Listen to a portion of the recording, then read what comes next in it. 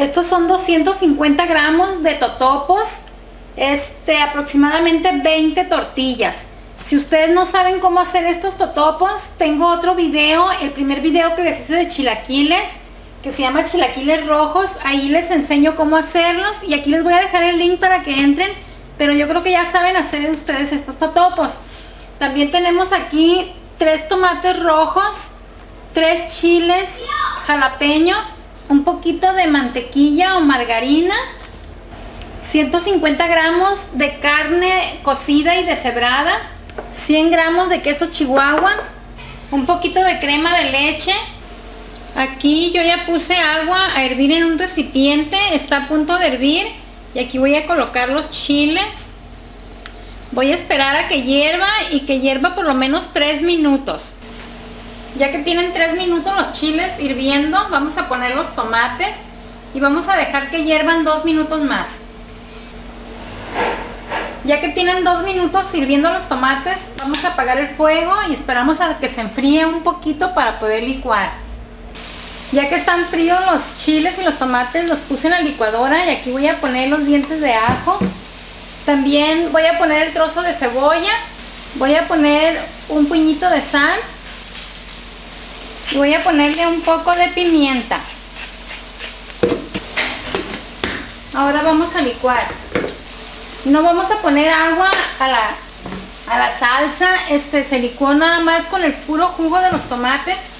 Pero como la salsa me parece que está muy descolorida, yo le voy a poner una latita de puré. Es una latita de puré para que le dé más color rojo a la salsa porque se me hace como muy descolorido. A veces los tomates no, no tienen mucho color. Cuando ponemos tomates bien rojitos y que nos queda bien roja la salsa, no hay necesidad de poner puré. Ahora sí ya nos quedó más rojita la salsa. Y vamos a preparar los chilaquiles. Aquí ya preparé la salsa, también ya rayé el queso chihuahua. Este, le puse mantequilla a un refractario. Y aquí vamos a empezar ya la preparación. Vamos a poner primero una capa de totopos.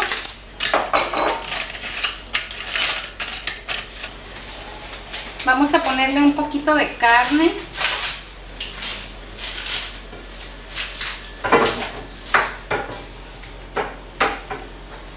Ahora vamos a poner un poco de la salsa.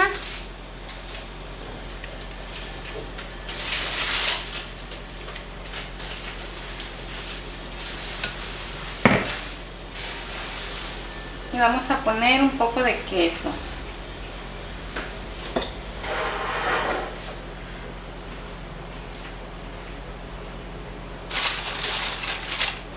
Ahora vamos a poner otra capa de totopos.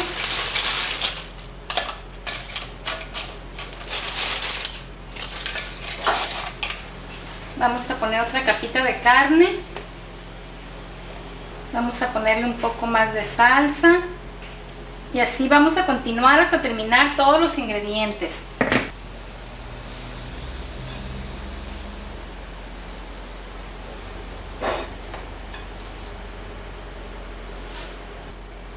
Ya que terminamos de poner todos los ingredientes, vamos a meter al horno de microondas por 5 minutos o hasta que gratine el queso. Así es como nos quedan los chilaquiles con carne en el microondas. La crema la dejamos para el final porque la vamos a poner en la mesa y cada quien la va a poner en su plato a su gusto. Espero que te haya gustado este video y yo te espero en mi próximo video tips.